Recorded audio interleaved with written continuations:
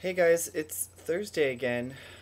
Okay, so this week we're doing cribs, where I get to show you guys my dorm room.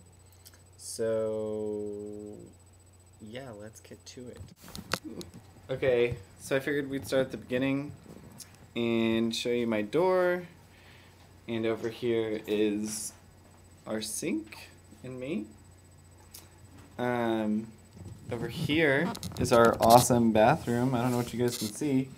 Our cool toilet and our shower with my sweet ass shower curtain. This is my closet. Um,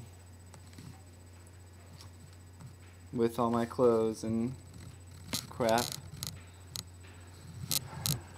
Um, this is my desk with all of my books and my name collage that I do all the time and all the other crap that I put all over my desk. This is my bed where I never make it because I'm lazy. Um, and my mirror. And my fridge, which is enormous and holds everything. With our television and our other fridge and our microwave. And then that, over there is, this is Aaron, by the way. He's one of my roommates. His bed is up top, and his bed is made, but it's not usually. He just wanted to make you guys think that at least one of us makes our bed. The one on the bottom is my friend Rod, or our roommate Rod. This is Aaron's closet. I won't open it because that's his closet. Here's our other television where we play video games and where we keep all of our food. And this is Rod's closet and Rod's area where he keeps all of his stuff. This is our couch where we spend many hours. Um, posters on the wall. That's our friend Corey.